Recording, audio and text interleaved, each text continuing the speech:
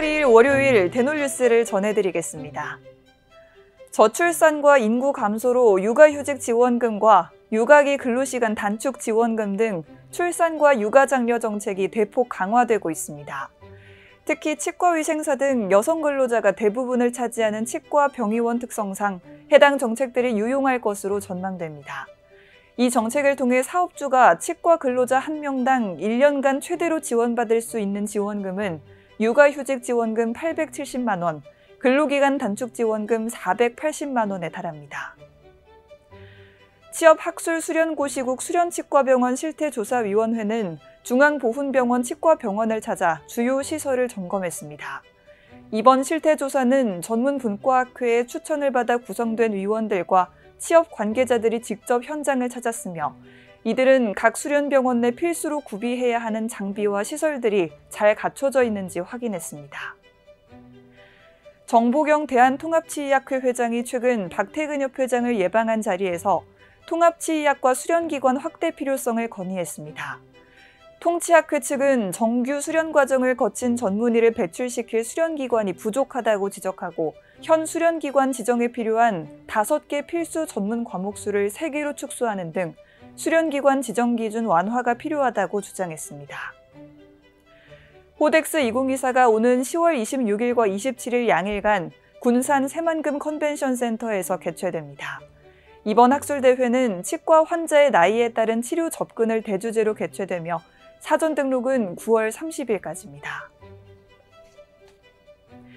오스템 임플란트는 부산 해운대구에 있는 임플란트 생산 공장 오렌지 타워에서 가족 초청 행사를 진행했다고 밝혔습니다.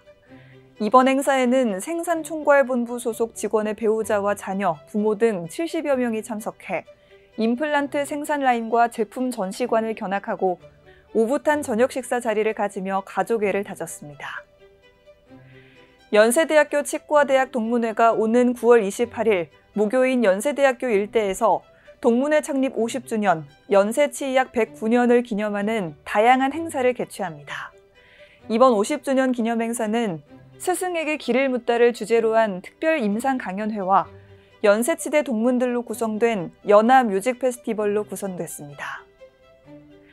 서초구 치과의사회가 지난 8월 22일 회관 개관식을 치렀습니다.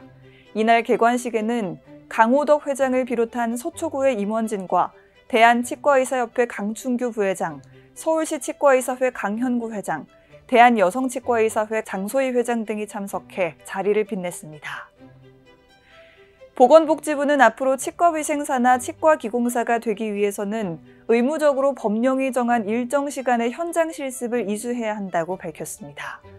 치과위생사는 각각 직역별 현장 실습을 총 320시간 이수해야 하며 치과 기공사는 160시간 현장 실습을 받아야 한다고 전했습니다.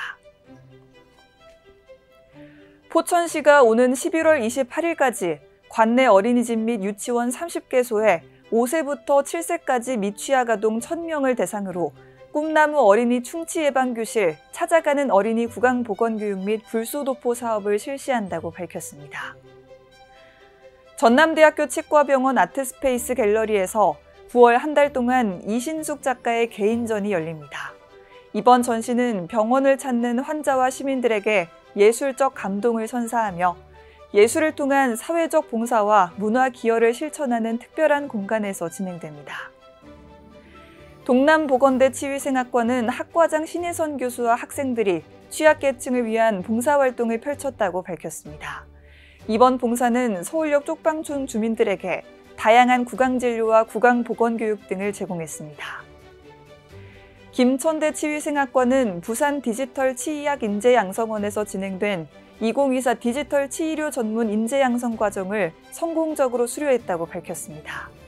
이 과정은 김천대 4학년 재학생 8명이 참여해 디지털 치의료 기술의 최신 트렌드를 익히고 실습을 통해 전문 지식을 습득했습니다. 대놀뉴스는 치과인 여러분의 제보를 기다립니다. 경조사, 인사동정, 봉사활동, 각종 행사 소식 등 치과계에 공유할 어떤 소식도 좋습니다. 화면에 보이는 이메일이나 전화, 카카오톡 채널에 제보해 주시면 대놀뉴스에 반영 가능하고 우수 제보자에겐 소정의 상품도 드리겠습니다. 이상으로 대놀뉴스를 마칩니다. 고맙습니다. 임플란트 유명한 게 좋을까? 뭐가 달라도 다르겠죠? 임플란트 세계적인 게 좋을까? 뭐가 달라도 다르겠죠? 치과 의사에게 사랑받는 게 좋을까? 뭐가 달라도 다르겠죠? 오스템 임플란트!